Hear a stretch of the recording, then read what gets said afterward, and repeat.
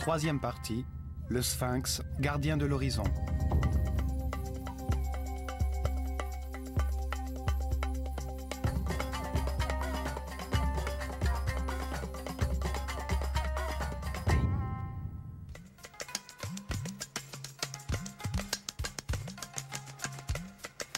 Nous allons poursuivre notre histoire de l'école de mystère de l'œil d'Horus, une caste sacerdotale fermée qui a incarné le véritable pouvoir en Égypte.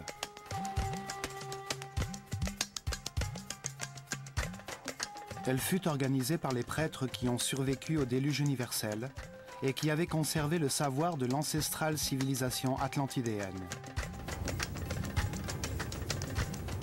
Des êtres très évolués qui ont vu dans ce cataclysme une chance de bâtir une nouvelle civilisation vouée à l'élévation spirituelle.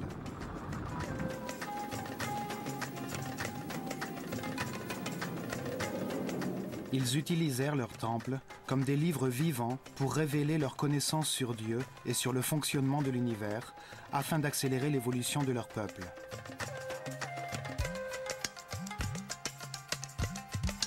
Ils concentrèrent dans ces temples tout leur savoir et toute leur richesse et en firent les vecteurs du développement de la civilisation égyptienne.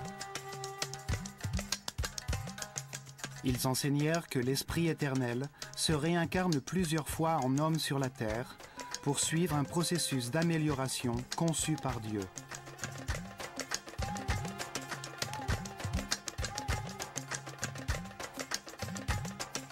Il s'incarne dans de différents corps, nés dans des familles, des époques et des lieux différents, dans différentes conditions matérielles, économiques et sanitaires. Il se réincarne plusieurs fois sur la Terre, pendant que le système solaire tourne autour du centre de la galaxie, ce qui dure 25 920 ans. Un tour qu'ils ont appelé année cosmique. Pendant ce cycle, la conscience de l'homme est sous l'influence de l'énergie des différentes constellations qui déterminent les processus nécessaires pour son évolution, comme le Soleil détermine les changements de saison.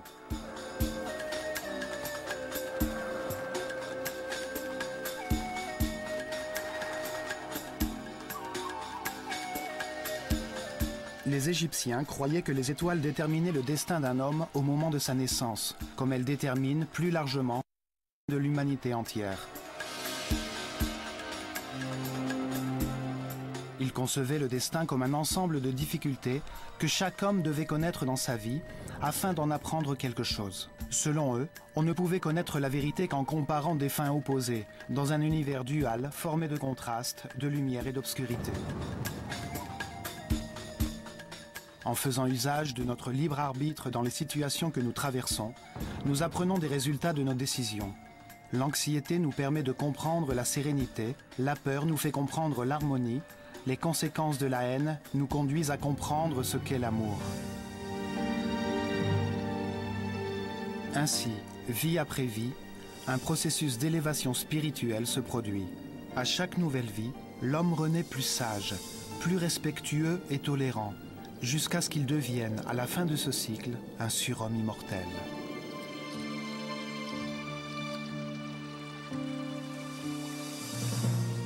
À ce moment d'illumination, il est capable de se souvenir de toutes les vies qu'il a vécues, de toutes les fautes qu'il a faites, en comprenant que, grâce à elles, il peut maintenant connaître la raison de son existence.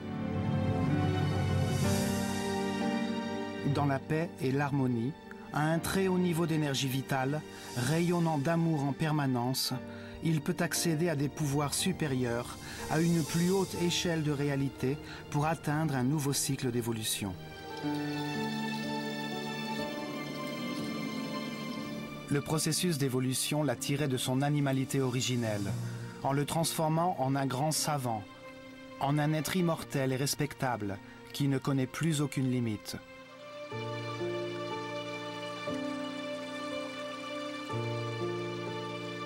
Grâce à cette compréhension de la vie, les Égyptiens vécurent dans la paix et l'harmonie durant des milliers d'années et faisant de leur civilisation un modèle. Les prêtres de l'œil d'Horus nous ont laissé ces vérités à l'intérieur de leur temple. C'est pour cela que nous allons les visiter un par un dans cette série de documentaires.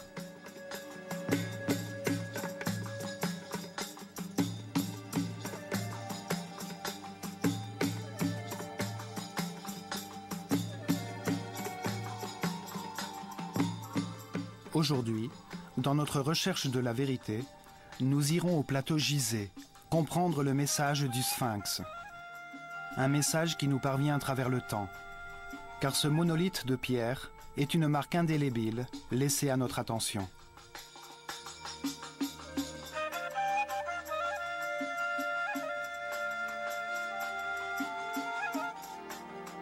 Le sphinx révèle des mouvements astronomiques observés pendant des milliers d'années par les Atlantidéens au cours du cycle astronomique précédant l'ère égyptienne. De nos jours, nous croyons que l'Atlantide n'était qu'un mythe.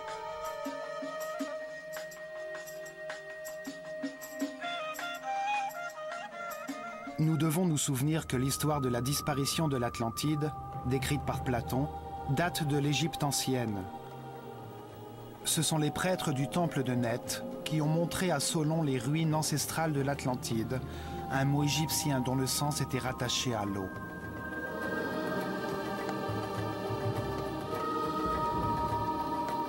Le terme atlu veut dire eau, ou plus précisément la limite de la terre qui touche l'eau. Anti évoque la division d'un terrain. Le mot composé Atlanta se réfère donc à terrain séparé par de l'eau.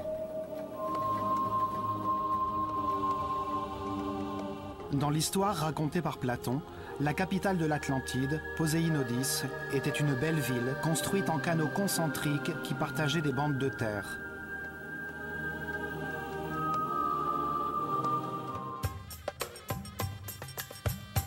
Pour dévoiler les secrets du sphinx, et sa forme symbolique, sa taille gigantesque de pierre monolithique, sa situation géographique et la direction de son regard. Nous reconstituerons les mouvements des étoiles après le déluge universel et nous verrons ce que veulent dire les signes d'érosion provoqués par les pluies sur son corps.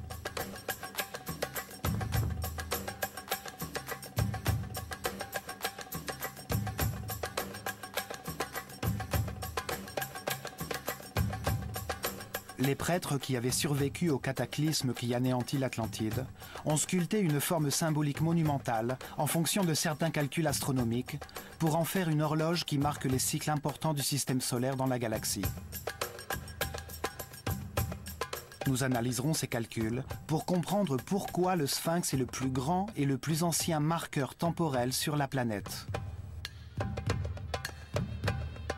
La première date à y être inscrite fut le Zep Tepi, le temps nouveau, le début de l'heure H de la nouvelle civilisation qui succéda à la destruction de l'Atlantide. Le Zep Tepi est le premier pas sur le chemin de la perfection spirituelle pour toute l'humanité. Le Sphinx est la première pierre sur cette route. La deuxième date enregistrée est celle de la dernière catastrophe, qui est survenu il y a 13 000 ans et que l'on nomme déluge universel. On trouve des traces de ce cataclysme sur toute la planète. D'autres parties du globe furent touchées en même temps que l'Égypte. Les prêtres, dans leur sagesse, avaient conservé la mémoire d'autres catastrophes précédentes, dont une était survenue au commencement de la civilisation atlantidéenne, il y a environ 38 000 ans. Ils savaient que ces catastrophes étaient cycliques et qu'elles avaient lieu à chaque changement d'année cosmique. Cette rémanence cyclique les inconfortait dans l'idée que les étoiles marquaient la durée de tous les cycles dans les différentes échelles universelles. Ces caractéristiques du sphinx montrent l'importance à tous les niveaux du grand cycle cosmique. La rotation du système solaire autour du centre de la galaxie détermine la durée des structures physiques qui soutiennent les organisations humaines, puisque tous les 25 920 ans, une catastrophe survient et laisse place à une nouvelle forme de développement, à une nouvelle organisation du monde.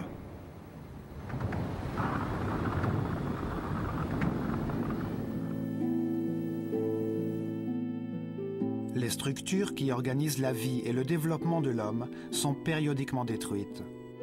À la fin de chaque cycle cosmique, de grands changements surviennent dans le Soleil et provoquent d'importants désordres météorologiques qui détruisent tout ce qui a été construit sur la Terre. Les prêtres de l'œil d'Horus nous ont appris que cela faisait partie d'un processus conçu par Dieu pour permettre le développement de nouvelles civilisations sur la Terre, pour permettre l'expression de nouvelles manières de voir l'univers. C'est comme si l'humanité, ne formant qu'un seul corps, mourait tous les 25 920 ans pour renaître sous une forme plus parfaite. Le même processus que celui par lequel passe l'homme, mais à une échelle collective, avec un esprit plus grand.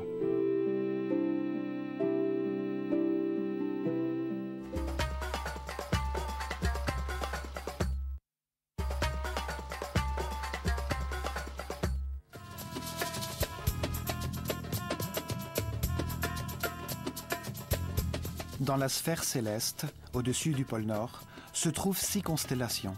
Elles sont appelées constellations polaires.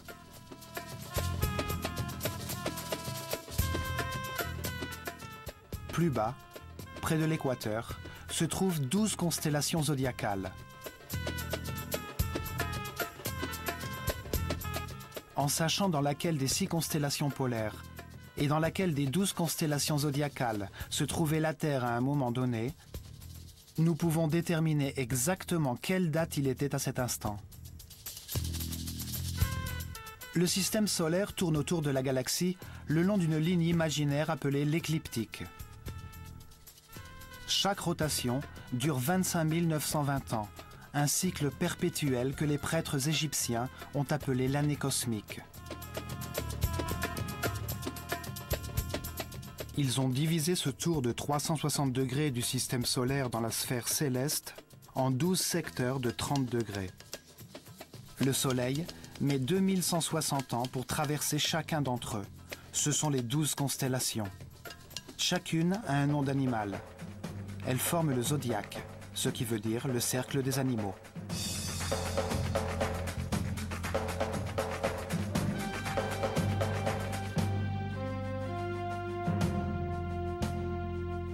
Tout au long de cette rotation, la planète reçoit les différentes énergies des douze constellations ou signes du zodiaque. Ce sont eux qui déterminent le destin de l'homme à chacune de ses réincarnations, les circonstances difficiles par lesquelles il doit passer pour effectuer son apprentissage.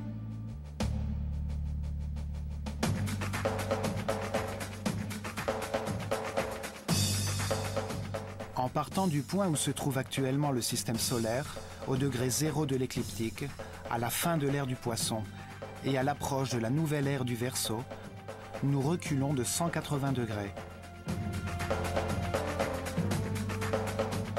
C'est là où le système solaire se trouvait il y a 12 960 ans, à 180 degrés de l'autre côté de l'écliptique, dans la constellation du Lion. Les scientifiques d'aujourd'hui nous disent que cette époque correspond environ à la fin du Pléistocène, quand les glaces ont fondu et que le déluge universel est survenu.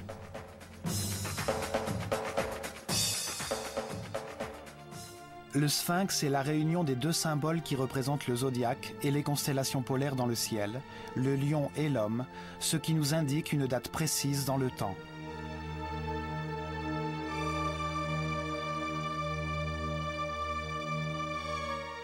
Cet animal hybride représente les deux zones célestes dans lesquelles ces étoiles se trouvent.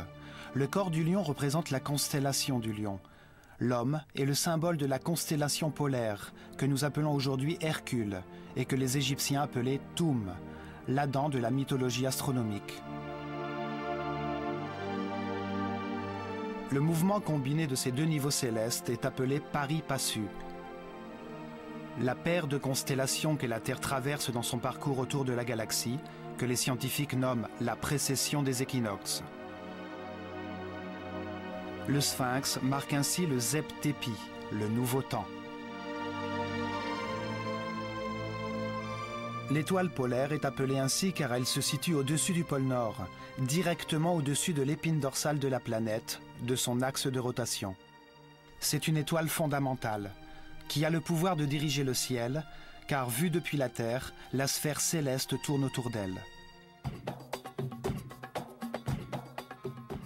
L'inclinaison de l'axe de la Terre par rapport au Soleil se déplace lentement pendant le cycle cosmique et vise un deuxième cercle, plus haut dans le ciel, formé par six étoiles polaires différentes.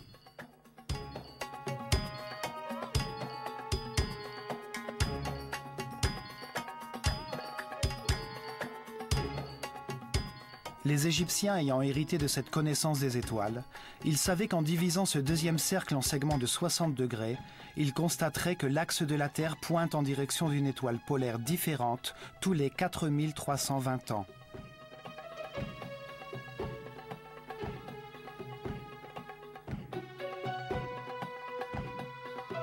Ces étoiles polaires forment six constellations qui se trouvent exactement au-dessus du pôle Nord, à chaque angle de 60 degrés sur le parcours que la Terre effectue durant la grande année cosmique. On les appelle les constellations polaires.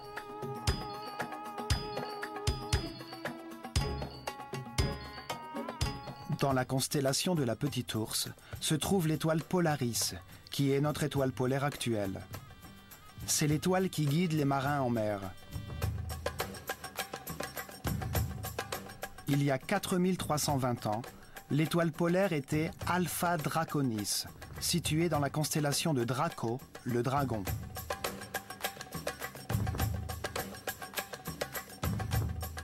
Il y a 8640 ans, le pouvoir céleste résidait dans l'étoile polaire de la constellation d'Hercule ou de l'homme.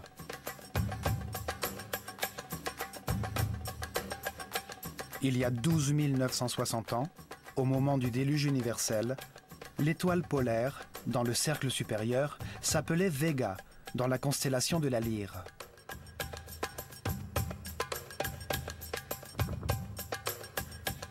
Encore 60 degrés en arrière, il y a 17 280 ans, l'étoile de Deneb, dans la constellation du Cygne, brillait dans le pôle Nord. Il y a 21 600 ans, Alphirk, dans la constellation de Céphée, se trouvait au-dessus du pôle.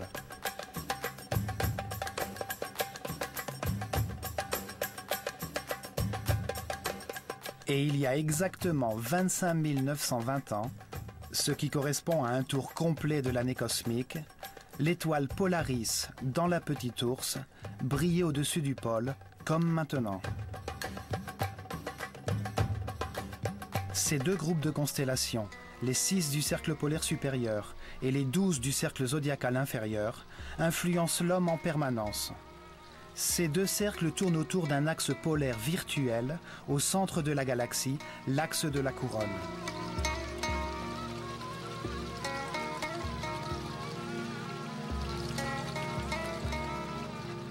Pour les Égyptiens, toutes les sphères célestes reposaient sur ces colonnes polaires, disposées symétriquement, à chaque angle de 60 degrés, sur le cercle vers lequel pointe l'axe de la Terre dans son voyage à travers la galaxie.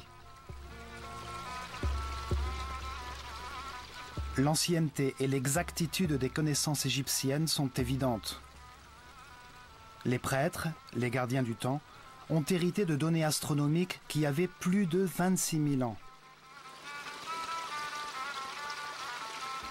Les astronomes modernes ont pu prouver l'existence de ces deux mouvements, qu'ils appellent la précession des équinoxes, car c'est à travers les changements dans l'axe des équinoxes qu'ils ont pu les vérifier. Le Soleil, vu de la Terre durant une année solaire, semble avoir quatre coins, quatre positions qui limitent ses mouvements dans l'horizon. Elles correspondent aux solstices d'été et d'hiver et aux équinoxes d'automne et de printemps.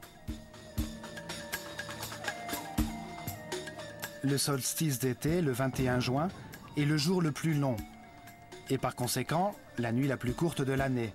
Le solstice d'hiver, le 22 décembre, est le jour le plus court et la nuit la plus longue de l'année. Les équinoxes d'automne et de printemps sont quatre jours pendant lesquels le jour et la nuit ont la même durée.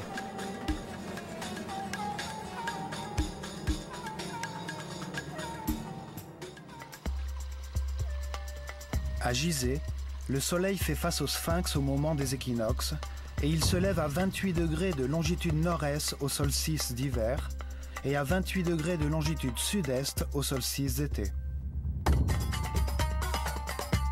Les équinoxes sont non seulement des points d'équilibre entre le jour et la nuit, mais aussi entre les énergies de la lumière et des ténèbres. Ces jours-là, les portes dimensionnelles du temps et de l'espace s'ouvrent. C'est pour cette raison que les jours d'équinoxe ont été traditionnellement importants pour toutes les cultures sur la Terre. Chaque année, la ligne imaginaire qui rejoint les deux équinoxes change légèrement d'inclinaison par rapport au Soleil. Cet axe se déplace d'un degré en 72 ans et de 30 degrés en 2160 ans. Au bout de 25 920 ans, il a effectué une rotation de 360 degrés. Par conséquent, ce que l'on appelle aujourd'hui la précession des équinoxes correspond exactement au cycle défini par les Égyptiens dans le pari passu, aux deux niveaux de rotation de la Terre durant la grande année cosmique.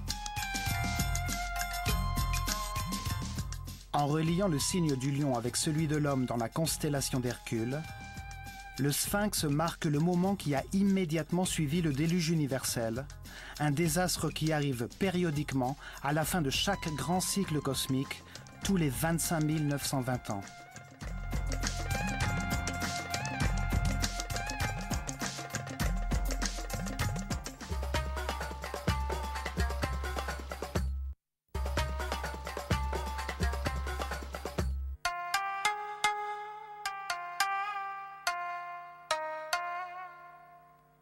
Sphinx est la plus grande sculpture sur Terre. Son énorme corps a été taillé dans une seule roche, afin de perdurer à travers les siècles. Ce monolithe géant, d'un seul tenant, fut érigé sur le plateau de Gizeh. Il mesure 80 mètres de long, 13 mètres de large et 20 mètres de hauteur. Il est aussi grand qu'un pâté de maison. Pour former son corps, les Égyptiens ont sculpté d'énormes blocs de pierre qui ont ensuite été utilisés pour construire deux énormes temples en face de lui.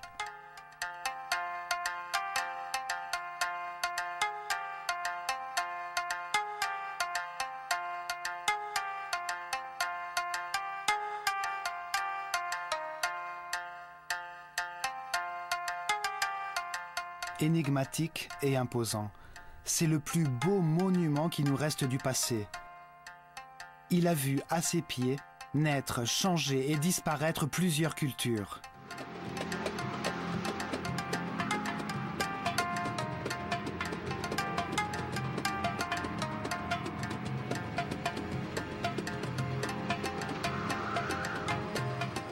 Sa localisation géographique sur le plateau Gizeh aussi appelé Rosto dans l'ancestral Livre des Morts, est très particulière.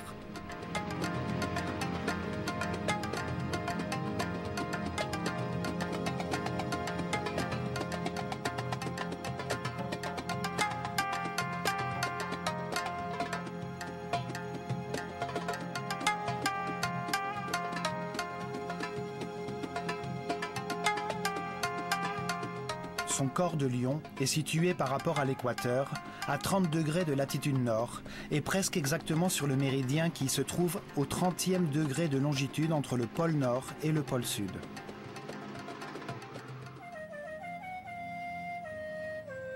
« 30 degrés de latitude, 30 degrés de longitude, sur l'un des points diamagnétiques de la planète. De nos jours, nous savons que le réseau électromagnétique de la planète se structure tout autour de la Terre, entre les 30e parallèles de latitude nord et sud, et à des distances harmonieuses, égales et régulières.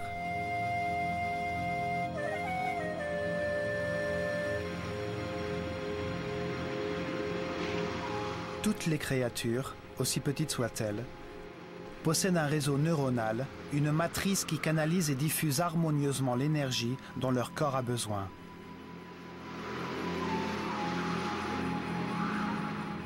La Terre est enveloppée par ce réseau géométriquement parfait de lignes équidistantes, composées de polyèdres, le long desquels circule l'énergie qui lui permet de vivre. On les appelle les lignes Li et les lignes Harman. Elles forment une matrice de points névralgiques qui produisent naturellement des tourbillons énergétiques. Ces tourbillons ont été secrètement utilisés par les gouvernements et les individus qui en ont la connaissance pour générer des forces antigravitationnelles permettant la lévitation.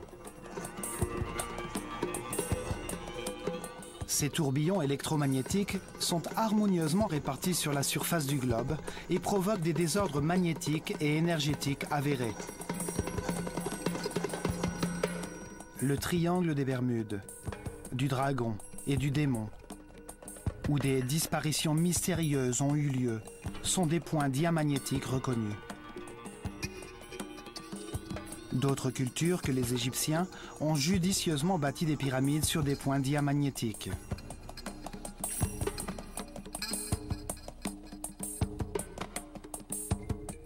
Des pays y ont stratégiquement placé des bases militaires. Avec une technologie adéquate, l'énergie de la planète peut être utilisée sur ces points afin de neutraliser l'effet de la gravité sur n'importe quel objet qui se trouve dans son champ d'action. Des expériences de changement dimensionnel, comme l'expérience de Philadelphie, dirigée par Nikola Tesla en 1943 aux États-Unis, ont aussi été réalisées sur ces points. À l'endroit de ces tourbillons, apparaissent également des portes dimensionnelles qui s'ouvrent et se ferment au crépuscule les jours d'équinoxe. Pour les Égyptiens, le jour d'équinoxe correspondait à la porte de Maat, la déesse de l'équilibre et de justice. Ces jours-là avaient lieu sur le plateau Rosto des cérémonies particulières auxquelles participaient les disciples de l'école de mystère. Il se servait du tourbillon pour terminer la formation des prêtres qui avaient atteint, après des années, le cinquième ou sixième niveau de conscience. Ils étaient alors transportés par une force externe jusqu'aux plus hautes dimensions. Les prêtres de l'œil d'Horus ont utilisé leur savoir ancestral pour construire, à un point critique du réseau électromagnétique de la planète, une grande pyramide qui leur permettait d'exploiter une source inépuisable d'énergie à des fins spirituelles. Ils recevaient dans leur corps les énergies condensées de la planète, grâce auxquelles ils pouvaient atteindre de très hauts niveaux de vibration qui provoquaient chez eux des états particuliers de conscience.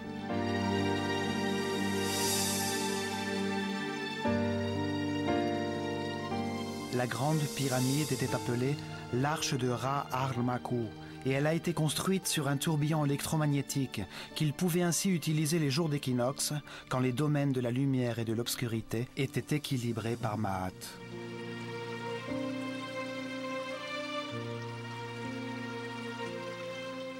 Ces jours-là naissaient les Néthers, les esprits exceptionnels, les Semsui Or, disciples d'Horus, qui rayonnaient d'amour et guidaient leur peuple en élevant son niveau de conscience par leur exemple et par leur connaissance de la réalité de l'univers.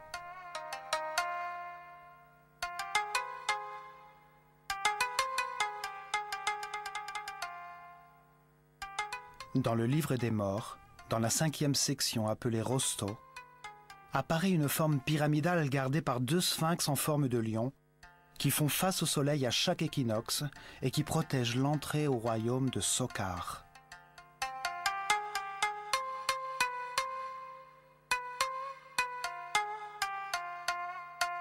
Les couloirs ascendants ressemblent au passage de la grande pyramide. C'est là où a eu lieu la transformation finale de l'Osiris que chaque être humain porte à l'intérieur de lui-même. C'est là où se produit l'illumination qui le transforme en Horus, le surhomme immortel. La forme du lion est, elle aussi, fortement liée à ce processus d'évolution. Le lion est l'animal le plus évolué, et pour les Égyptiens, il représente le moment final d'une conscience d'animal qui évolue vers l'état de surhomme.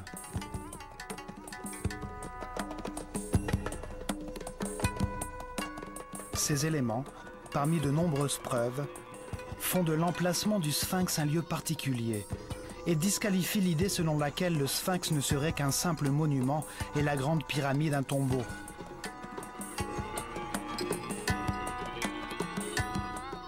deux raisons ont fait naître la conviction que le pharaon Képhren, qui a régné entre 2520 et 2494 avant Jésus-Christ, est celui qui a ordonné de le sculpter dans un même bloc de roche.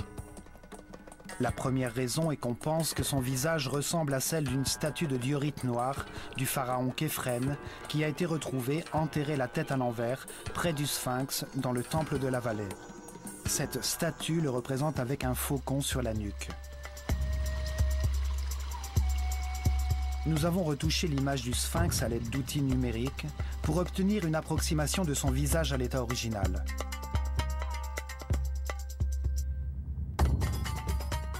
Nous avons constaté que ses traits sont totalement différents de ceux de Képhren.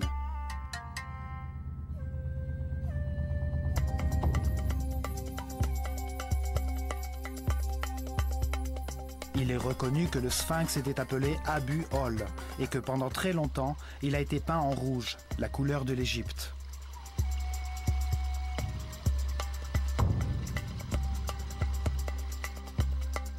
Avec le temps, ont disparu le pectoral fait de pierres semi-précieuses, la barbichette, les couleurs de son élégant némès, ainsi que toutes les plaques de granit blanc poli de la pyramide de Képhren. La seconde raison est qu'une stèle, sculptée dans la pierre, avec la syllabe Kef écrit sur la treizième ligne, a été retrouvée entre les bras du sphinx. Selon les égyptologues traditionnels, ceci permet d'attribuer sa construction à Képhren.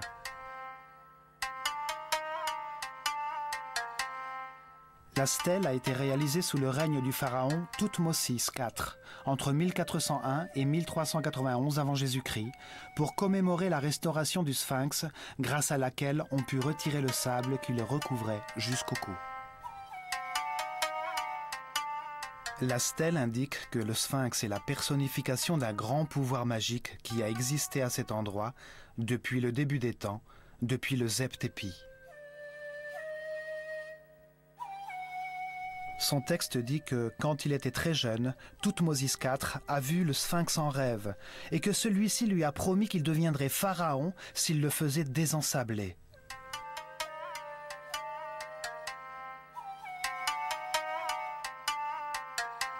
En vérité, elle ne donne aucune information susceptible de savoir qui a ordonné sa construction. Il n'y est fait aucune mention de Képhren comme bâtisseur du Sphinx. Il fut sûrement l'un des restaurateurs qui, comme Toutmosis IV, ont enlevé le sable qu'il avait recouvert au cours du temps. Une autre pierre sculptée, appelée la stèle de l'inventaire, retrouvée dans Gisé par Auguste Mariette, indique que le pharaon Khéops, le prédécesseur de Képhren, a ordonné la construction d'un temple à côté du Sphinx, ce qui prouve que le Sphinx existait déjà et que son successeur ne pourrait donc pas l'avoir construit. Pourtant, cette stèle n'a pas été reconnue par les égyptologues orthodoxes, qui considèrent qu'elle n'est pas d'époque, car le style dans lequel elle est écrite ne correspond pas à celui en usage sous le règne de Khéops.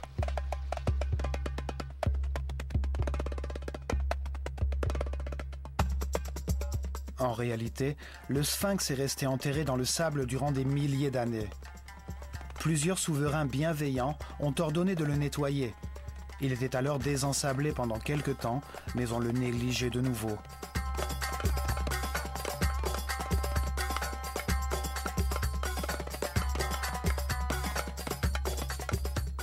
La direction de ses yeux est une autre clé pour comprendre son mystère. Sa tête d'homme fait face à l'est. Il a ainsi contemplé le lever du soleil pendant des milliers d'années.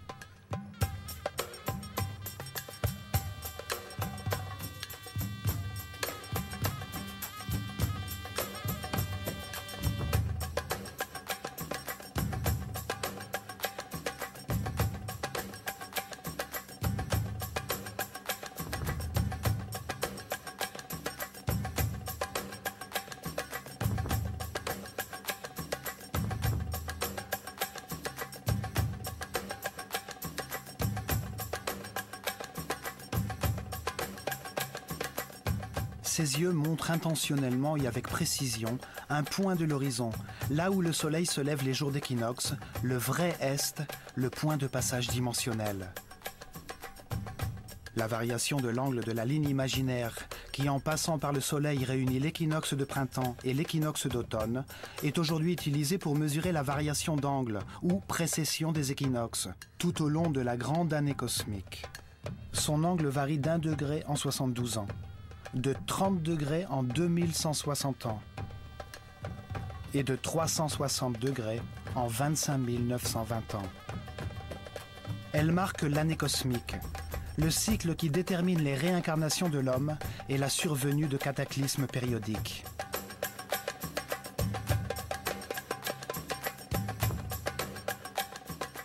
À partir de l'emplacement exact du sphinx, des scientifiques américains ont reconstitué la sphère céleste en calculant avec un ordinateur la position de la Terre sur l'écliptique il y a 12 960 ans et le déplacement du système solaire.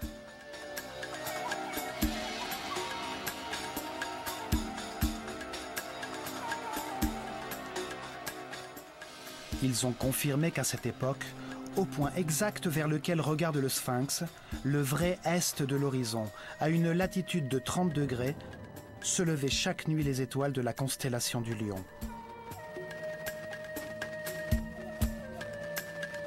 Le sphinx regardait, à l'horizon, les étoiles du signe zodiacal du lion, la constellation que le système solaire traversait en ces temps-là. Ces travaux confirment donc le message que le sphinx veut nous transmettre sur le temps, sur sa forme symbolique et sur son emplacement précis. Au même moment, à 90 degrés au sud, se trouvait la constellation d'Orion, à 9 degrés sur la ligne du méridien nord-sud.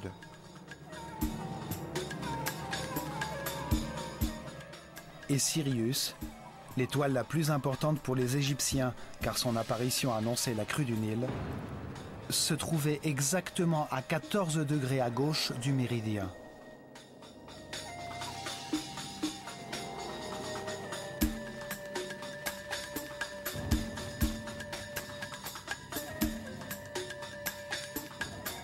La date que le Sphinx nous indique, le début de la nouvelle civilisation, le Zeptepi, est confirmé par la relation entre sa forme symbolique et la constellation zodiacale du lion, d'une part, et de la constellation polaire d'Hercule, d'autre part.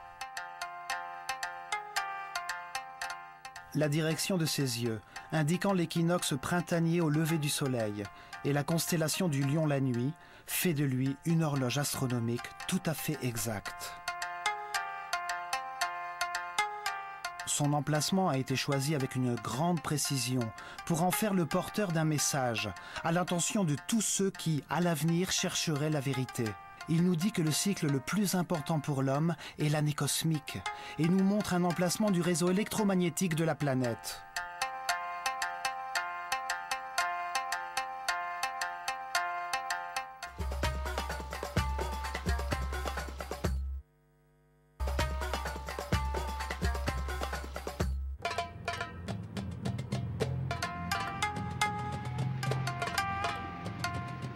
Un autre élément du sphinx qui confirme le zeptépi, le moment auquel le sphinx a été construit.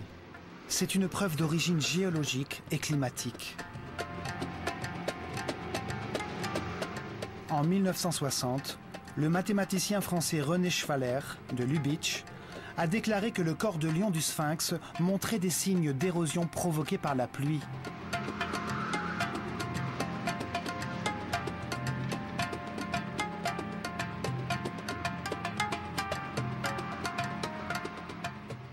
Cette révélation fut accueillie avec stupéfaction, car il est connu que le sphinx a été enterré dans le sable jusqu'à son cou 90% du temps pendant les 4500 dernières années. Depuis l'an 2500 avant Jésus-Christ, la date où on a coutume d'admettre qu'il fut construit par le pharaon Képhren, seuls quelques souverains bienveillants se sont donné la peine de le restaurer en faisant enlever le sable qui le recouvrait.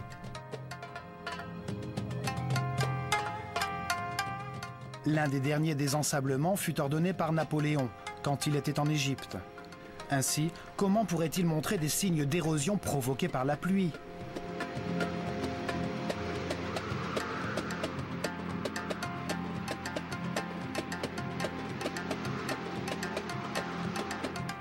En outre, il a été prouvé que le climat en Égypte a été le même pendant ces 4500 ans, aride, sec, avec des pluies rares.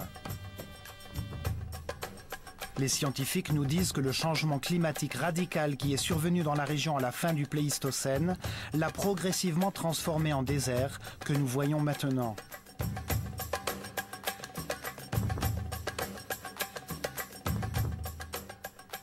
Cela signifie que la pluie qui a érodé le corps du sphinx pourrait être tombée seulement entre les années 10 960 et 5000 avant Jésus-Christ, quand le plateau gisé s'est transformé en désert de sable et que le sphinx a été enterré jusqu'au cou, protégé du temps.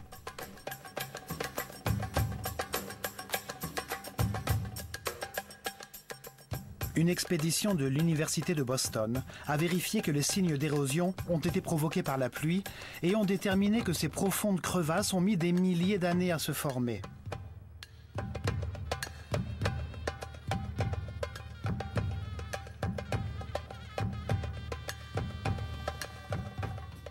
Ceci confirme l'antériorité du sphinx et relance le débat sur la date de commencement de cette civilisation, point sur lequel les égyptologues orthodoxes ne sont pas venus à s'accorder.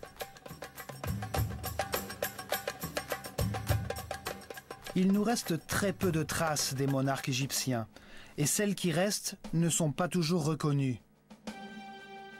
Le papyrus de Turin et la galerie des cartouches, dans le temple d'Osiris à Abydos, énumèrent les noms des pharaons dont l'existence est avérée.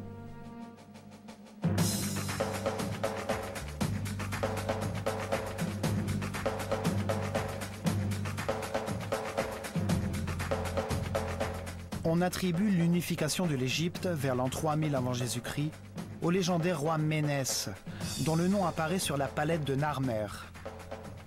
Selon l'histoire officielle, il aurait ainsi donné naissance à la première dynastie des pharaons. Mais ces inventaires, comme celui dressé par le prêtre Manetho en l'an 300 avant Jésus-Christ, dans son histoire de la civilisation égyptienne, remontent en réalité plus loin dans le temps, faisant référence à des souverains antérieurs qui ne sont pas aujourd'hui reconnus car ils sont considérés comme des mythes irréels. Ce sont les Shemsu Or, les disciples d'Horus, des ancêtres divins, des êtres éclairés qui ont gouverné l'Égypte pendant 13 900 ans. Puis vient le tour des Akus, ou hommes sages, d'autres monarques exceptionnels qui, d'après ces documents, ont dirigé l'Égypte pendant 11 000 ans, avant l'avènement des pharaons qui régnèrent durant 30 dynasties.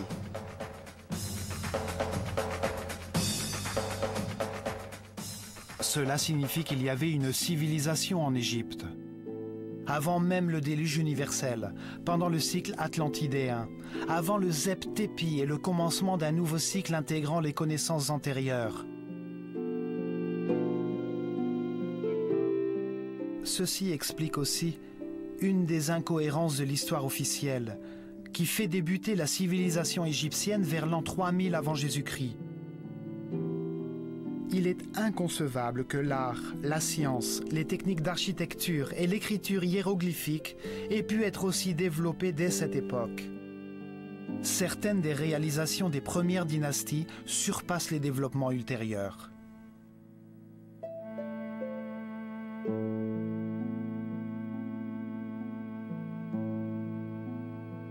Il est dur de comprendre comment le site de Saqqara, avec ses briques travaillées, ses décorations en céramique très raffinées, ses détails architecturaux harmonieux, ses colonnes et ses pyramides capables de résister durant des milliers d'années, a pu surgir soudainement du néant.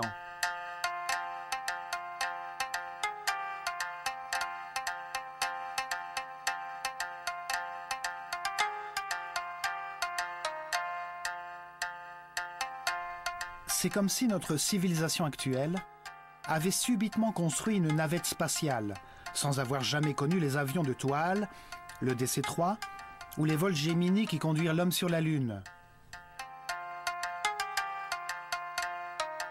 Il est clair que la civilisation égyptienne a hérité du savoir accumulé durant le cycle précédent et qu'elle a été guidée dès son commencement par une caste sacerdotale d'êtres très évolués spirituellement, comme l'attestent les découvertes archéologiques retraçant la liste des souverains égyptiens.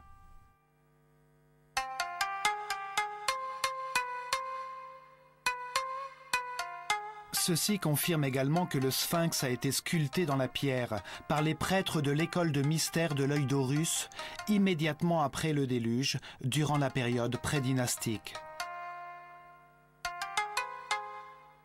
Le sphinx est une sculpture gigantesque, construite en un seul bloc, pour résister à l'épreuve du temps. Sa forme symbolique a été minutieusement étudiée pour en faire un point de rencontre astronomique. Il se trouve précisément sur l'un des nœuds diamagnétiques de la planète, indiquant la présence de forces énergétiques planétaires là où la grande pyramide a été construite.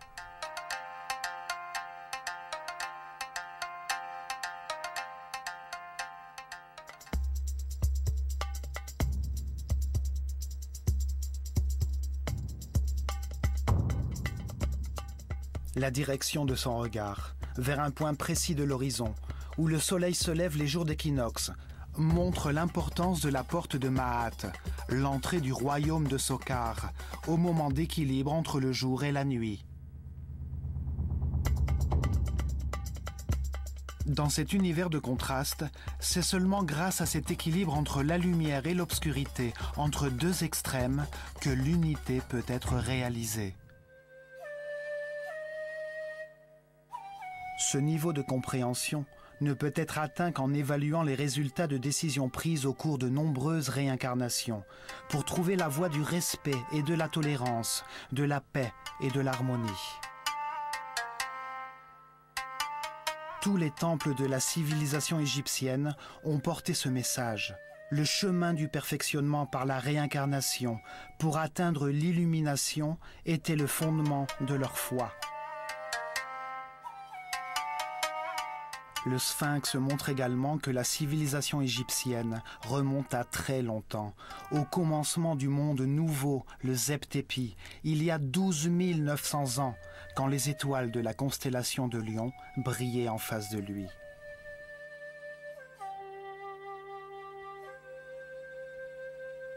Le sphinx rappelle l'existence de l'année cosmique, le cycle le plus important pour l'humanité, il confirme que la civilisation atlantidéenne a vraiment existé.